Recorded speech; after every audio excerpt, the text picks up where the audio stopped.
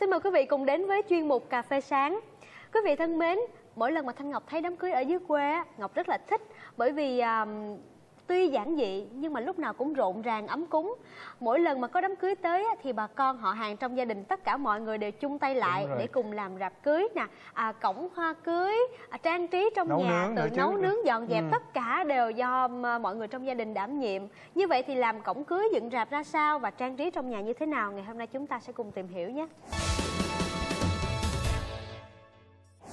Thưa quý vị, đối với lại người Nam Bộ nói chung và người Sài Gòn xưa đó thì việc làm cổng cưới rất là quan trọng bởi vì cổng cưới chính là cái ấn tượng đầu tiên Ừ. khi mình bước vào buổi lễ và cổng cưới thì thường thường được tết bằng lá dừa đặc trưng của miền Nam đúng không? Ừ, đúng À, và hai cái à, hai bên cổng á, hai cái thân hai cột lên á thì người ta sẽ dùng hai cái thân cau hoặc thân chuối đặc biệt là đã trổ hoa rồi Ừ. có một cái buồng cau buồng chuối như thế rất là đẹp à, và nhiều nhà còn chọn làm cổng tam quan có nghĩa là một cổng chính ở giữa và hai cổng Hai nhỏ cổng nhỏ hai hai bên, bên. À, để tăng cái sự trang trọng cũng như tính thẩm mỹ của cổng cưới Ở miền Tây Nam Bộ thì Thanh Ngọc thấy có một vài nhà rất là chuộng cây đủng đỉnh để làm cổng cưới. cái đủng đỉnh hả ừ, anh chưa nghe câu bao giờ câu này hết trơn á ờ, nó ra làm sao ta Cây đủng đỉnh này à, cũng khá khá giống cây cau đó. Ừ. À, trái và hoa rất là xum xuê, cái trái màu đỏ thì tượng trưng cho cái sự sung túc. Ừ. Ừ. Và người ta còn trang trí thêm một ít hoa cau à, và những cái dải nơ màu đỏ Ừ. và đặc biệt là không thể nào thiếu được à, cái bảng chữ đỏ hoặc vàng đề tân hôn hoặc là vu quy. ừ.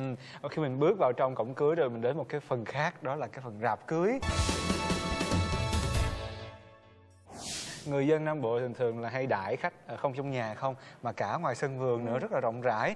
Và cái rạp cưới cũng làm rất là công phu và đẹp mắt. Ừ, đầu tiên là người ta dùng những cái thanh sắt để kiên cố nhưng mà được bao quanh bởi những cái miếng vải rất là đẹp.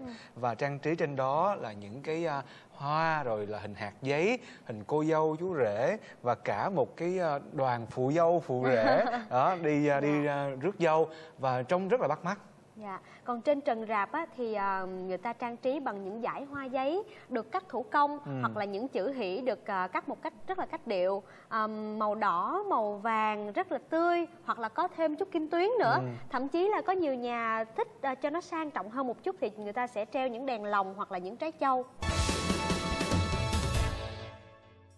Ờ, theo truyền thống của người miền Tây á, thì thường thường à, khi mà qua đặt vấn đề với nhà gái thì mình sẽ ăn lễ bên đó trước thì giống như là lễ hỏi vậy. Và sau đó thì sẽ trả lễ lại bên nhà trai bằng một lễ cưới. Ờm, sau khi làm lễ bên nhà gái thì thường thường người ta cũng có thói quen là ở lại một đêm rồi hôm sau mới rước cô dâu về bởi vì nhà cũng tương đối xa. Và có một đặc điểm rất đặc trưng của miền Tây đó là à, khi mà rước dâu người ta rước bằng đường thủy. À, rất bằng đường thủy. Đúng rồi, rước bằng ghe. Và dĩ nhiên là ghe cũng được trang trí rất là cầu kỳ và đi đến đâu là rộn ràng cả một khu vực. Nghe anh Dũng nói như vậy thì Ngọc lại chợt nhớ đến bài thuyền hoa rất là hay đúng không? Thuyền em đi trên sông trăng sáng. Ngọc mà nghe đám cưới này kia là Ngọc thích lắm. thì vui mà đám cưới là một dịp rất là vui để mọi người có thể tụ họp lại với nhau um, và chúc mừng cho một thành viên trong gia đình đúng không um, đám cưới ở miền tây thì thường thường là không có một giờ giấc nào cụ thể cả họ dường như là chúc mừng nhau và ăn uống cả một ngày dài Ngoài đó có nhạc nữa. đúng rồi nhạc rất là quan ra trọng. à, người dân miền tây rất là thích đàn ca hát cho nên là người ta thường thường là họ sẽ thuê một cái ban nhạc về trong cái lễ cưới à, để cho bà con hai họ cũng như bà con xóm giềng lên hát giao lưu với nhau. Thậm chí có những nhà khá giả một chút thì họ còn mời cả những ca sĩ miệt vườn về hát và đàn ca vọng cổ nữa anh Dũng.